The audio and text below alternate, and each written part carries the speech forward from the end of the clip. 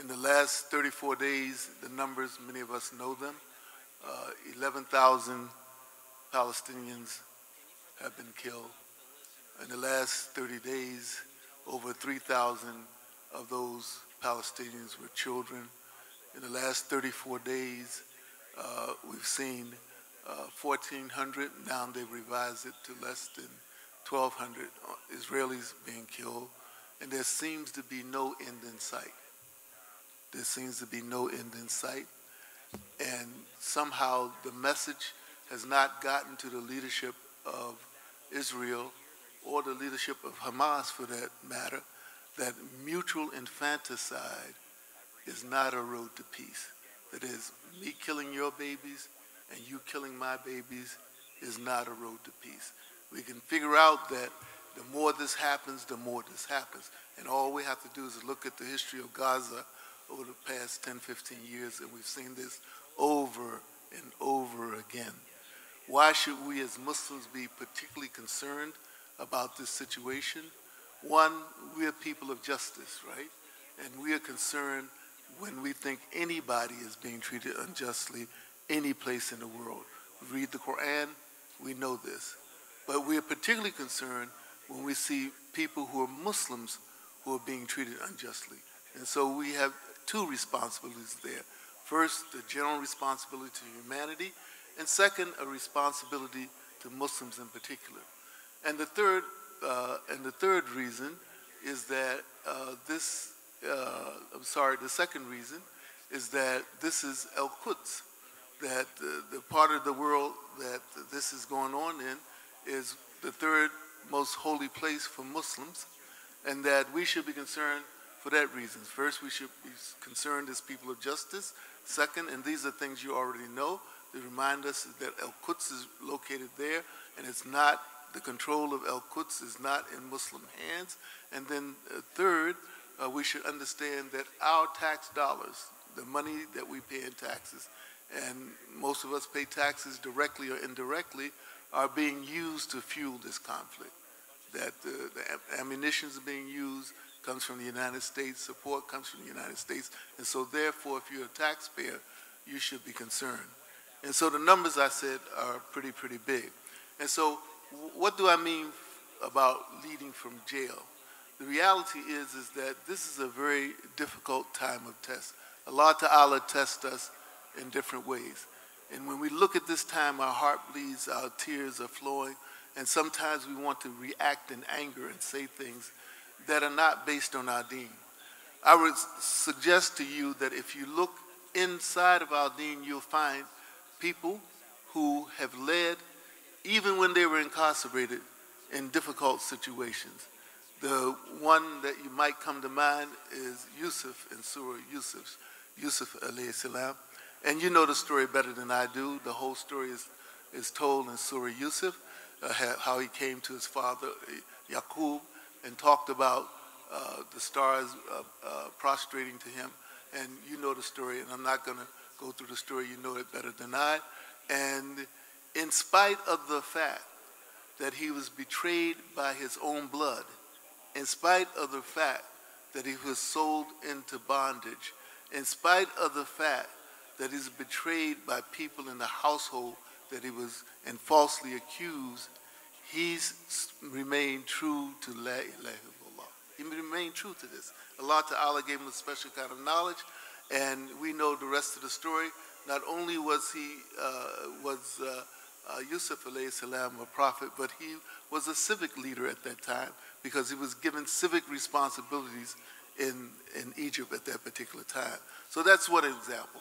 A second example we'd like to talk about is El Hajj Malik al-Shabazz, right? And we read about Yusuf alayhi salam in the Surah Yusuf, but El Hajj Malik al-Shabazz, many of you have already read this, but if you have not read this, if you want to understand uh, Islam in America and understand the transformative nature of Islam in America, particularly in the population that's incarcerated, where there are lots of Muslims right now as we speak, you should read the autobiography of Malcolm X, which was uh, first released in 1965, and I read it in 1967.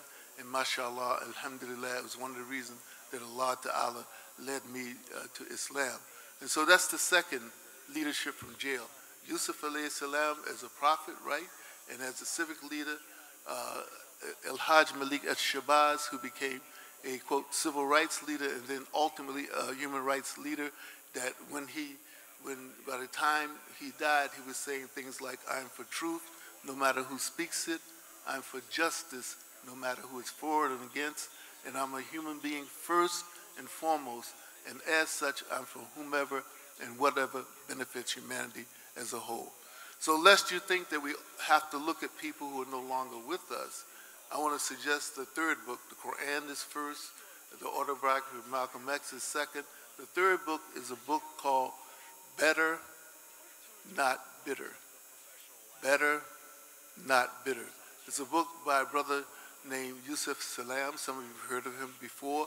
He just got elected to the city council in the city of New York, and he released this book in 2021. Again, the story some of you are familiar with, some not. I recommend you become familiar with. Yusef Salaam was uh, unjustly accused of rape in the Central Park Jogger case, which was very famous in 1989, and he was incarcerated unjustly, and ultimately he became part of what's called, he was called the Central Park Five, and he became the exonerated five. The thing to understand about uh, Brother Yusuf is that uh, he said in the beginning of the book, if you pick up the book, he says, they did not know who they had. He was talking about the jails. They did not know. The police didn't know who they had. He drew strength from his name. That's why it's important for us to give our children uh, Muslim names, right? That, that means something, that will inspire them. He said he was inspired by his name. He was inspired by Prophet Yusuf salam. His name was Yusuf. And he was inspired by that example, and that took him through this experience of being locked up and unjustly accused, and he ended up becoming, going to school, becoming a doctor, uh, Dr. Yusef Salaam, and writing this book, Better, Not Bitter. In other words, many people are incarcerated and they come out bitter because of the racism in the system, because of the way they're treated in the system. And so this is another book that you might look at uh, uh, in terms of understanding how we lead from the jail that Prophet Yusuf salam, uh, uh, uh, Brother Malcolm X, and Brother Yusef Salaam.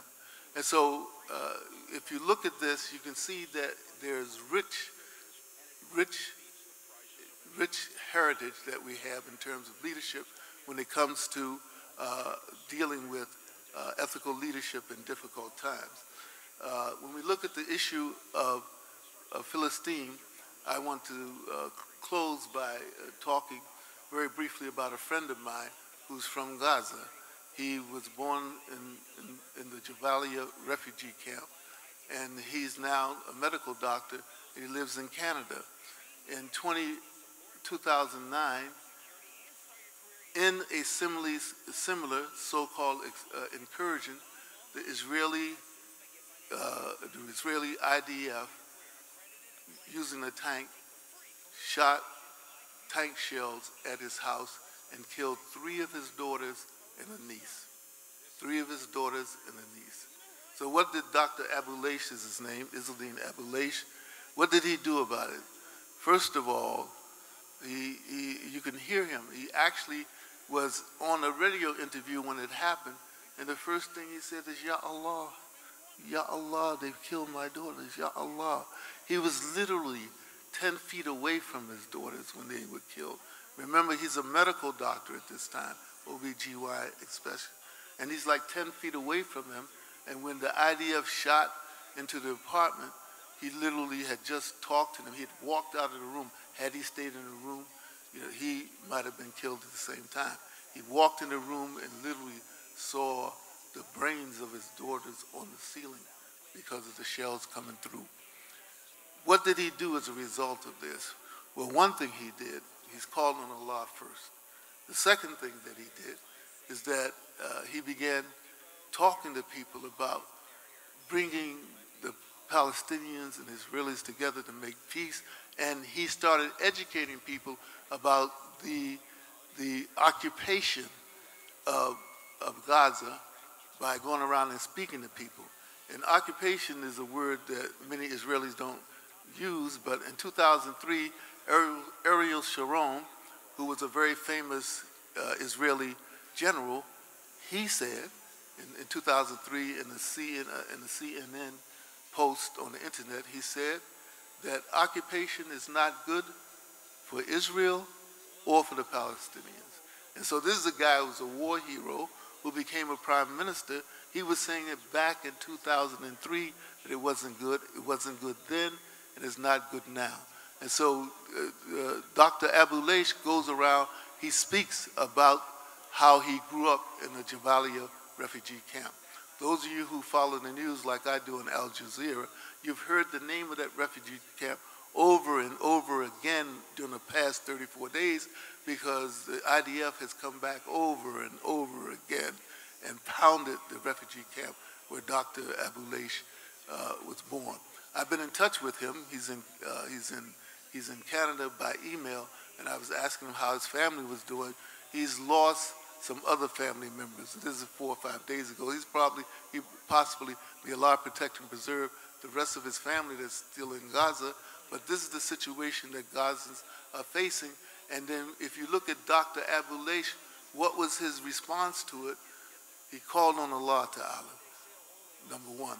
Number two, he became a spokesperson for the Palestinians, highlighting what occupation really is like under the Israelis. He's been doing this for many years. I actually met him in 1990 when I was working at Manhattanville College. And you know how you meet uh, Muslims and you see them and you meet them like uh, Brother Tawheed here. You meet them the first time and you know you just have a connection with them because they you feel Islam. You don't have to have a long conversation. Dr. Abu Leish was this kind of person in 1990 when I met him. And then he wrote a book aside from calling on the law, aside from uh, educating people, uh, he also, in 2011, he, he established something called the Daughters for Life Foundation that has educated more than 300 young Middle Eastern women because he feels that one of the problems in the Middle East is that there are not enough educated women who can speak up about the situation. And so Dr. Abuelaish is making a difference in terms of education, making a difference in terms of calling the attention to the abuses uh, that his people live on in, in Israel. And he also wrote a book called I Shall Not Hate. He wrote it in 2012, and I read the book and I recommend it to you because this is a man who does not wear his Islam on his sleeve, but he's motivated by the Quran or Sunnah in terms of his understanding of what we should do in the situation in Palestine. He's a Palestinian himself who's lived with the abuses of the Israeli occupation for many, many years, and he goes back and forth there time and time again. And so these are four books that I would recommend to you. One, Quran, Surah Yusuf. Two uh, is the book, uh, the autobiography of Malcolm X. Three, uh, is, is the book uh, Better, Not Bitter, and four is I Shall Not Hate. I'd like to close by saying uh, uh, two things. One is that the kind of education that we give at the Islamic Center of America is the kind of education that we hope to produce leaders like Prophet Yusuf alayhi salam, Malcolm X, uh, uh, uh, Dr. Yusef Salaam and my friend Dr. Izzeldin Abu Leish. Uh, those people, all of them are rooted in Islam, firmly placed in Islam. You can tell that their, their, their, their, their focus is on Quran and uh, focuses on serving Allah and the principles that we find in the Quran. Uh, the second thing is that, the, that we try to teach people to deal with the context that they're in. We saw Prophet Yusuf salam dealt with different contexts, right? But always consistently calling on Allah and trying to do what Allah Ta'ala says. We saw that with, with we saw how Malcolm X grew into this. We saw how at 15 years old, Yusef Salaam, he grabbed onto his name in Islam and he came out better, not bitter. And we saw Dr. Izzeldin Abu Leish do the same in terms of looking at the context that they were in and trying to make it better. The third thing that we do at the Islamic Center of America is that we provide a rigorous, fact-based education. A lot of us look at the situation in Gaza and we react to it. Rather than reacting, you know, with no context, we should be rigorous in trying to understand these situations to see what we can do about them, like uh, like our role models would do. So the education that we've tried to provide is is rooted in Islam, Islamic principles. It's uh, it is it is uh, relevant to the, the current context that we find ourselves in, and it's academically rigorous.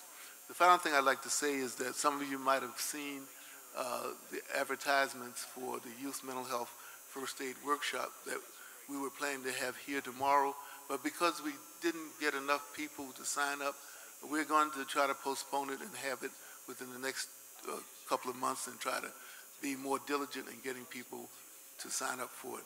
The Youth Mental Health First Aid uh, workshop is an attempt by the Islamic Center of America to give back to the community. There's a mental health crisis in the United States. There's a mental health crisis amongst young people. There's a mental health crisis in the Muslim community. In the past 34 days, believe it or not, has added to that crisis.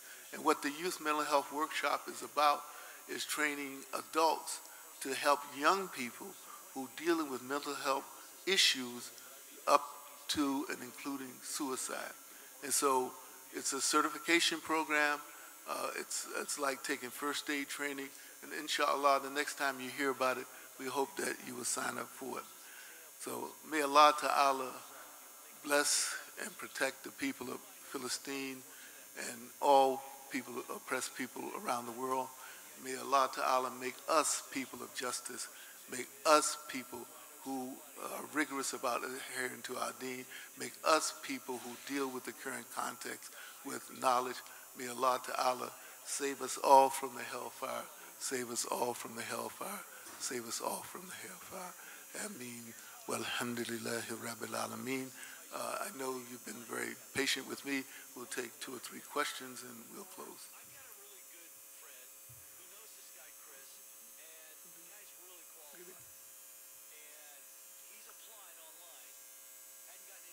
So thank you for your time and thank you for hosting me. Uh, inshallah, if you want to learn more about Islamic Seminary of America, I forgot to bring my brochures. Uh, you can go to our website at islamicseminary.us. Our website is islamicseminary.us, and you can find uh, you can find the information about us there. You'll also find me there, Jimmy Jones. Uh, I'm James.Jones at islamicseminary.us. And if you want, if you want to speak to me a few moments uh, after we close, uh, I'll be here for a few moments. But again, thank you for your hospitality. And inshallah, we'll, we'll, we'll Assalamu alaikum wa rahmatullahi wa barakatuh. It's good to see you again. Alhamdulillah. Alhamdulillah. Alhamdulillah. Alhamdulillah.